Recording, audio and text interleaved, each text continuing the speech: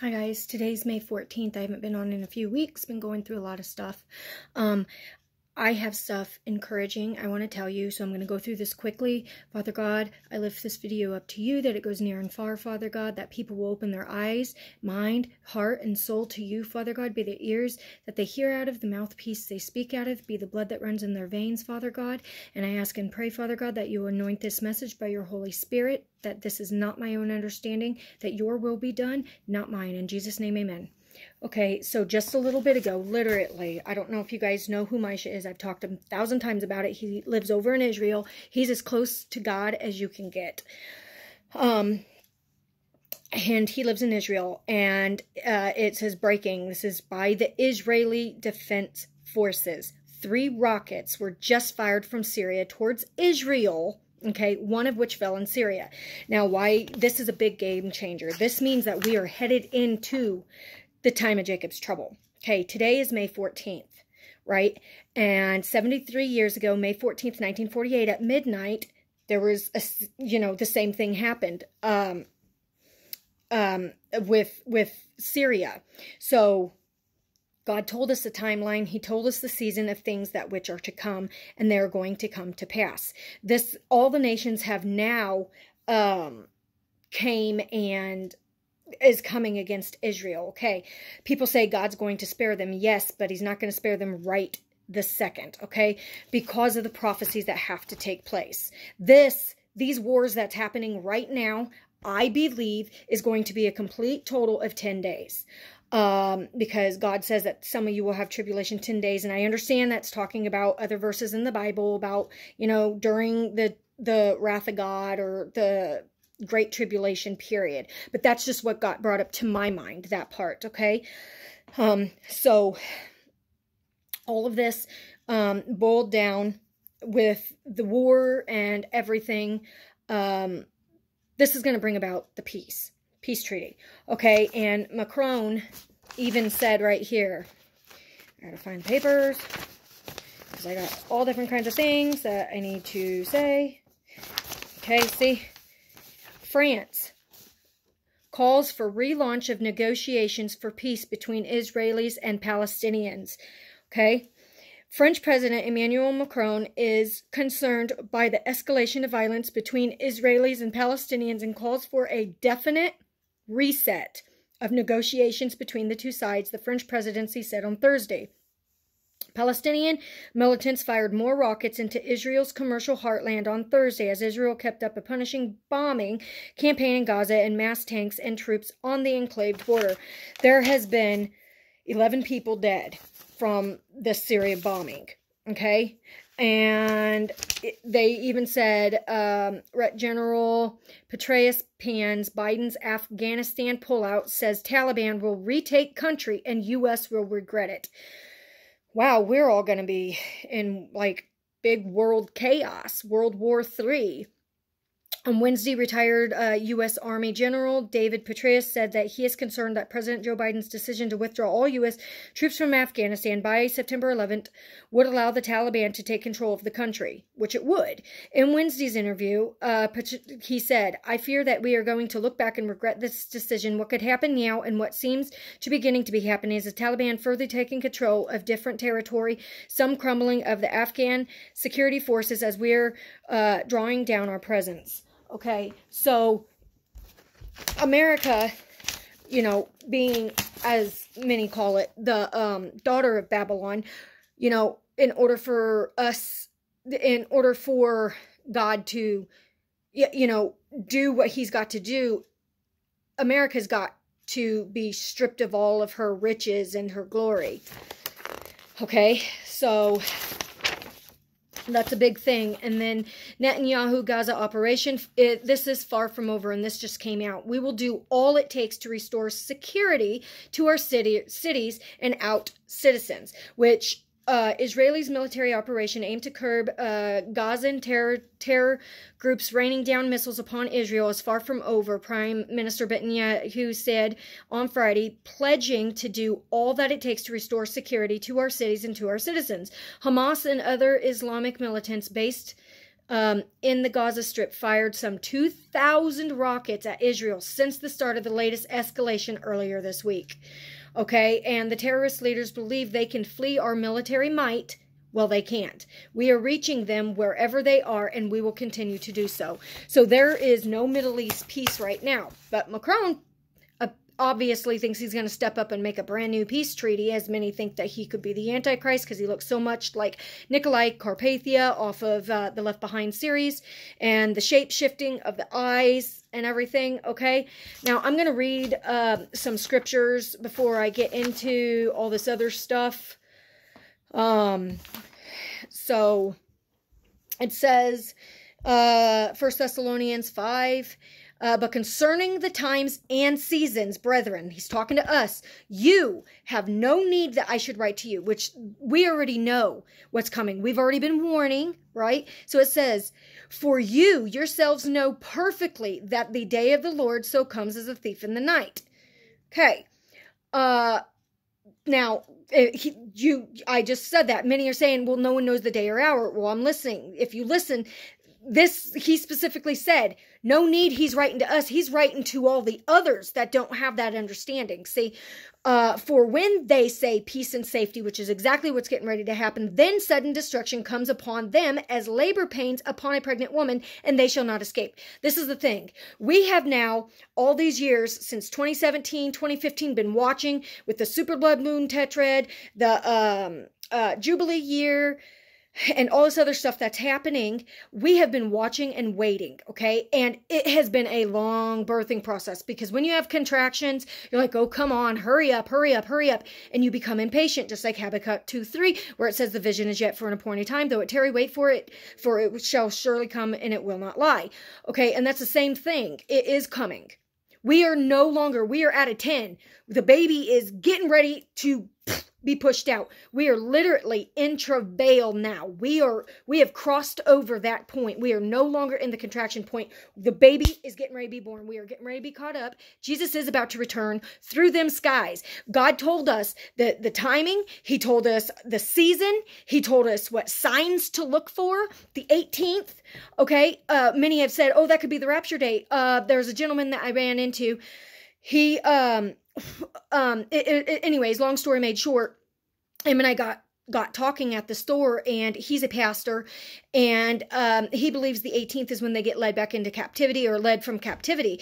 And being that um, you know uh, a week later we now have the flower moon right so that's the this blood moon um, that's coming, and God said at the timing of His coming in Matthew 24, and, and all those other scriptures talking about the moon shall not give its light and things like that, or whatever, and it turns red. And many people have had dreams of that. Okay, um, and that also being around the 26th is the last day of school for uh, kids in our area. Now, um, what what the big thing is with that i i had a dream about the blood moon and the children and the rapture. And then um i had a dream a couple years ago which i think is crazy because tomorrow is my little brother's birthday and he's turning 14 today is the 14th i dreamt of leo the lion up in the constellations and on his right back leg there was the number 14 and it was circled plain as day.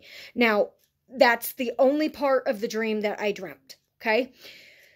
I know something major. Jesus Christ is literally about to bust through them skies, and the woman is getting ready to flee into the wilderness. But, as many have said, well, that can't happen until the middle of the tribulation, and the tribulation hasn't begun. I can't tell you enough. There's 1,335 days from start to finish of the tribulation, of um, all of that from start to finish. Okay. And you have the three and a half years of the beginning of sorrows, which is now. We are literally getting ready to cross over into the timing of Jacob's trouble. This wars that's happening, uh, you can read in Luke 21, Matthew 24.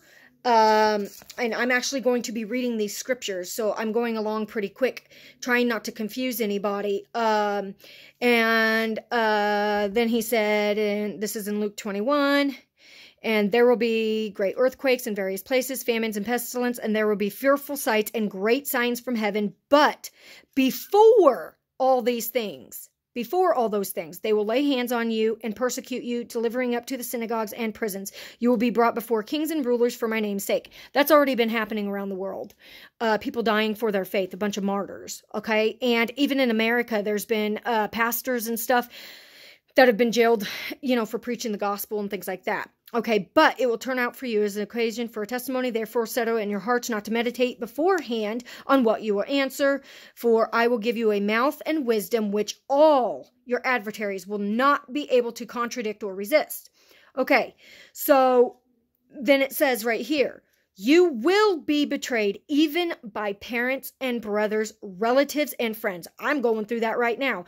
And they will put some of you to death okay which i believe with the the jab and this other um you know stuff that's out uh that's the part of it that they're talking about um because and then you've got the people uh that you've got people who are tattling on each other okay? And then it says and you will be hated for all my name's by all for my name's sake. And we are hated very much so.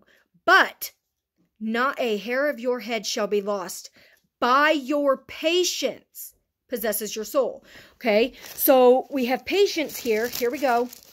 Remember how I was saying you got to be patient through the labor pains? Well, here we go in Revelations, um, uh, or yeah, Revelations chapter 3, verses 10. Because you have kept my command to persevere, which means to wait, I also will keep you from the hour, okay, which means season, okay, of the trial of the adversaries of the evil, which shall come upon the whole world, which is the ruling of the Antichrist, to test those who dwell on the earth. Okay, then it starts going into the tribulation because after chapter 3, you're not going to hear about the churches at all in the Bible. Um, all right, so in Revelations 12, uh like we said over in Israel they have their false messiah right?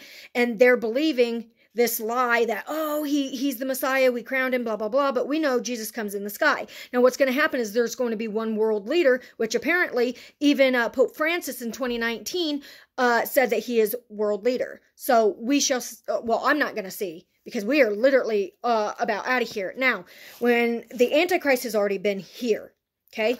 Now, I have to read you this.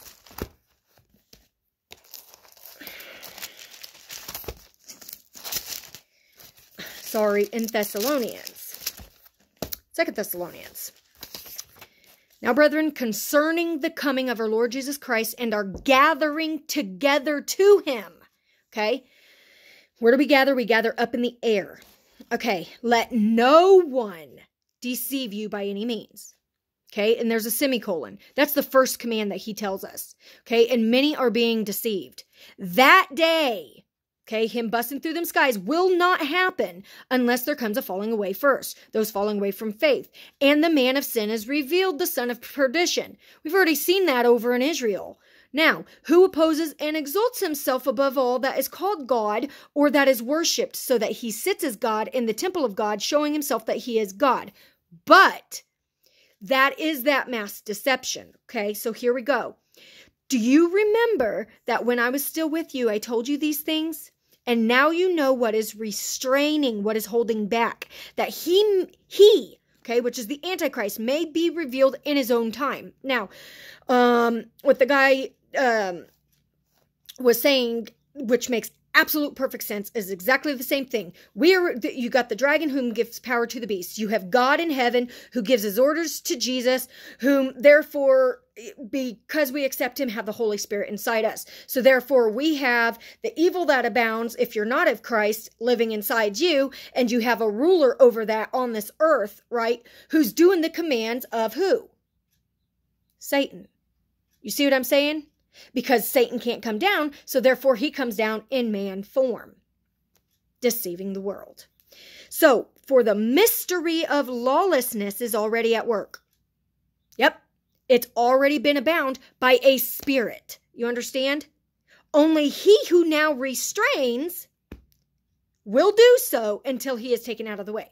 Okay, the restrainer we know means the Holy Spirit, the church. Okay because it is us the holy spirit lives inside us. There obviously has to be some other type uh, during the great great tribulation the time of jacob's trouble to be able to come to christ okay? So therefore uh, from this timing and it says and then then the lawless one will be revealed Okay? Whom the Lord will consume with the breath of his mouth and destroy with the brightness of his coming. The coming of the lawless one is according, listen to this, to the working of Satan. Do you see what I'm saying? So, exactly what I said. You got God, Jesus, Holy Spirit. You got the dragon who gives power to the beast, who then you also got the lawless one or whatever. So you got the three that's working together in an entity, and you got because Satan mimics God. You see what I'm saying? If I lost you, I'm sorry. I'll try and explain it better. But I'm telling you guys that my whole point to all of this, okay? Um, we're going to go back to Luke 21. Okay? Right here. I want to read this to you. Okay. And I've already read this. Uh, but not a hair of our head will be lost, and by our patience possesses our soul. Okay, so we've been waiting. So now we've got the first three and a half years, which has already occurred. Okay, that's the contractions. Now, as the baby gets ready to be born in Revelation 12, what happens? He stands right before the woman seeking to devour that child, but whoop, we're caught up, and the woman what? Flees. So he gets angry. God sends a big earthquake, swallows them up by a great flood, and those get led out of captivity. Those are the ones that protected. But, okay, those are the ones that would be protected. The rest, whom will have to endure, those are the ones that this is what it's speaking of. But when you see Jerusalem surrounded by armies, which we are seeing now, then know that its desolation is near. Then let those who are in Judea flee to the mountains. Let those who are in the midst of her depart and let not one of of those who are in the country enter her. You understand? For these are the days of vengeance, and all things which are written may be fulfilled. This is the timing of Jacob's trouble, the beginning of it. No ifs, ands, or buts. This is not my understanding. This is in red. This is in Jesus' word. Okay, but woe to those who are pregnant and to those who are nursing babes in those days, for there will be a great distress in the land and wrath upon this people. Okay, and they will fall by the edge of the sword and be led away captive into all nations. And Jerusalem will be trampled by Gentiles until the times of the Gentiles are fulfilled. And then it just keeps talking about right here. Um, and then there will be signs in the sun in the moon, and in the stars. Okay, we've already seen that. The signs in the sun. Okay, hello, the planet. There's two suns uh, in the moon, blood moons, um, and we've seen stars. We've seen the alignment of the Revelation 12 woman. We've seen the moon under her feet. Da da da da da. We've already seen the first half of the fulfillment of that. We're waiting now for the baby to be born because the Antichrist is then going to try, but he gets so angry he can't reach her or the baby. Okay, so can't reach the church and can't reach those God is protecting for the 42 months, so or 1260 days. So he turns around and with him being leader of the world, he makes war with everybody to make him worship him. This is the part we are at.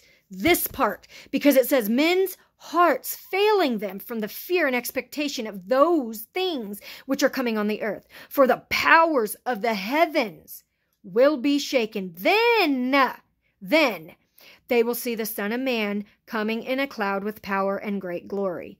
Now, when these things, all these things begin to happen, look up and lift your heads because your redemption draweth nigh. And this is when he's talking about the fig tree generation. That is us.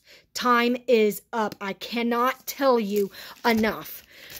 Okay, and I I got to get all this off my chest. I got to I've been waiting. Mark 13 even talks about this. Uh, for on, tell us when these things will be happening, and what will be the sign when all these things will be fulfilled. And Jesus answering them began to say, Take heed that no one deceive you. For many will come in my name, saying, I am he, and will deceive many. But when you hear of wars and rumors of wars, do not be troubled. For such things must happen, but the end is not yet. For nation against nation. Okay. We've already got the race against race, kingdom against kingdom. We've got um, country against country. We've got the surrounding over at Israel and all the nations coming against the apple of God's eyes. These are the beginning of sorrows. Boop. And then there's going to be famines and pestilence and earthquakes in many places, but watch out. Okay, they're going to enter you um, into synagogues, and the gospel must be preached to all the nations. They will arrest you. Um, um, brother against brother, parents against parents. You keep on going, and you will be hated for all my name's sake. But he who, who endures till the end shall be saved. Okay, so so when you see the abomination of desolation spoken of by Daniel the prophet standing where it ought not, let the reader then understand. Then let those who are in Judea flee to the mountains. Now. This, many people don't understand that this part with the Revelation 12 sign, the woman, okay, gives birth to the baby, and it's not immediately the same day, boop, she turns around and flees. And then, boop, the Antichrist there. This is going to be a progress. The baby flees out of the way. You have the woman still standing there, but God takes her away. You see? But in all that meantime, Jerusalem desolate. And even Jesus said at the beginning of Matthew 24, Mark 13, Luke 21, not one stone will be left on one another. Not one. Okay? Um so so then therefore when they flee, that's the timing of that Jacob's trouble. You understand what I'm saying? We are there. The the birthing of the baby is here. We are no longer in these like birth pain, birth pain, birth pain. You know what I mean? Because it's been happening full speed. We are now in travail. We are at a 10. We're getting ready to be pushed out. We are legit there with with you know, it, it, was different when you have the wars over in Russia and Ukraine and Turkey and all them, but now it's not just that. We as America turned our back against Israel. How did we do that? Why don't we intervene? Well, because Biden gave billions of dollars to the Palestinians for their weapons. And he wanted it up to 70% uranium. Okay?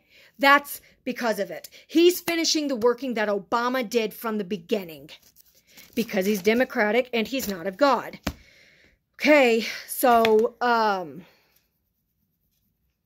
uh, we keep going, we keep going, and it's talking about right here. Now we have Matthew 24, uh, when you see the abomination of desolation spoken of by Daniel the prophet, whoever leads, then let those who are in Judea flee. Let him who is on the mountaintop no, not go back, and da da da da da. And we keep going down. And pray that your flight may not be in winter or on the Sabbath.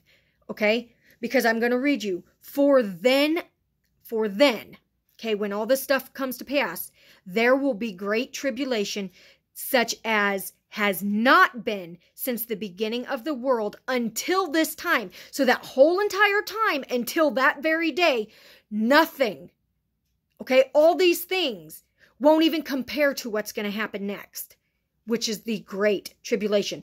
And unless those days were shortened, what shortens the tribulation days? No flesh would be saved. Okay? And that's got a semicolon. So there's two parts to this meeting. But for the elect's sake, those days will be shortened. That's us. We won't have to go through that. You understand? So he has to cut it short because no one would survive. But he takes us out of the way from the all this crap that's about to go down, the timing of Jacob's trouble. You understand? So you you keep going down and it's talking about obviously you guys have read Matthew 24. Go down to 29 with me and it says immediately after the tribulation of those days of all these things right here immediately. Okay? After the tribulation of those days, the sun will be darkened and the moon will not give its light. The stars will fall from heaven and the powers of heavens will be shaken. Remember, I just read that to you in Luke 21. Mark 13, and in Revelation 12. All that coincides together because all of them say the same thing. Then, which means after that, the sign of the Son of Man will appear in heaven. And then all the tribes of the earth will mourn, and they will see the Son of Man coming on the clouds of heaven with power and great glory. Okay? This is Jesus. There's a difference between the rapture and the second coming. Understand that. The rapture, he's on the clouds where everyone's going to see him. The tribes of Israel, they're going to realize, crap, we pierced the Son of God. He really is who he says he is, and we have been deceived. So, therefore, when he comes back, he's going to send his four angels, or his angels at the four winds, to collect us. Whoop, the church. And then we meet him in the clouds to be protected for that for that uh, timing of Satan. And then we come back at the end with Jesus when he steps his feet on the Mount of Olives. That is the second coming. Okay, so this is the second scripture that says, Learn this parable of the fig tree. We are there, the fig tree generation. Now, done speaking of that. Zechariah 12, the burden of the Lord, uh, the burden of the word of the Lord against Israel says, um, who stretches out the heavens, lays the foundation of the earth, and forms the spirit of man within him. Behold, I will make Jerusalem a cup of drunkenness to all the surrounding peoples when they lay siege against Judah and Jerusalem. And it shall happen in that day that I will make Jerusalem a very heavy stone for all peoples. And all who would heave it away will surely be cut into pieces, though all nations of the earth are gathered against it. That is where we are at. These all coincide together. One more scripture. Okay, um, listen to this. Daniel 9, 24 on. We've read this a million times, but I want you to listen and and and understand Know therefore, this is 25. Know therefore and understand that from the going forth of the command to restore and build Jerusalem until Messiah the Prince, there shall be seven weeks and 62 weeks, which is 69 years and 70 years. The street shall be built again, and the wall, even in troublesome times. You know, we already see because they're going to be laid desolate and they have to rebuild it because that's where they're putting what? The Antichrist is going to come and be the world leader. So, therefore, this war that's happening is going to make it desolate at the timing. Boop, we're leaving. So, the Antichrist comes and makes world peace. You see what I'm saying? Okay, and after the 60, 62 weeks, the Messiah shall be cut off, but not for himself. And the people of the prince who is to come shall destroy the city and the sanctuary. Okay, the end of it shall be with a flood. Until the end of the war, desolations are determined. Do you understand? This war, this is what it's talking about, is going to lay it flat. This then is when he comes, he shall confirm a covenant with many for one week. And many think this means seven years. Okay. A week is a season.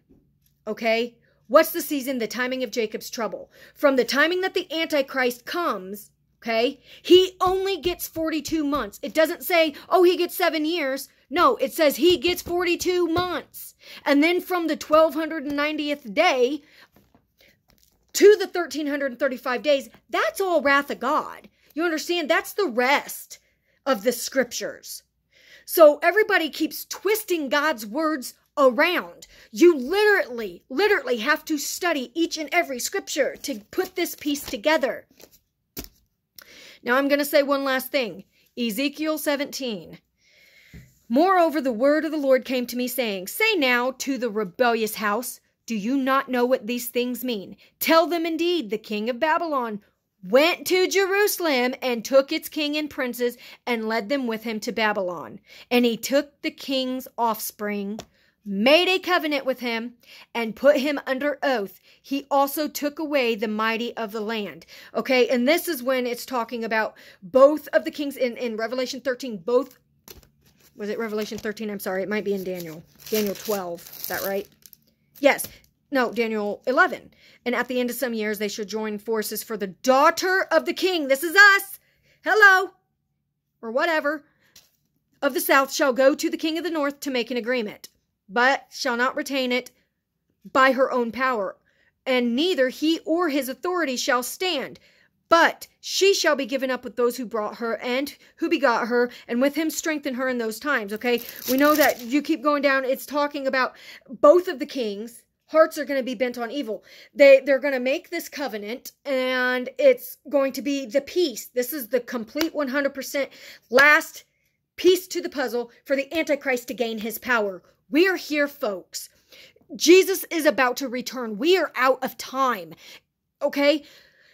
May 15th over in Israel time is that timing when Israel became a nation. Okay?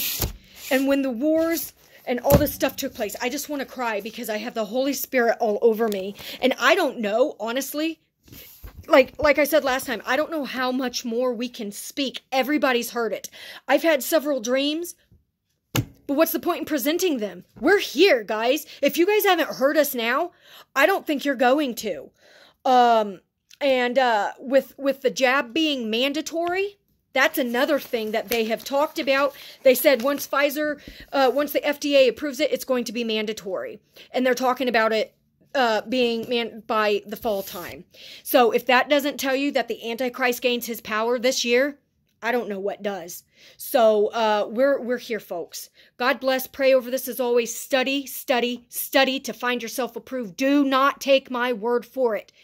Study God's word. Pray over this as always. God bless.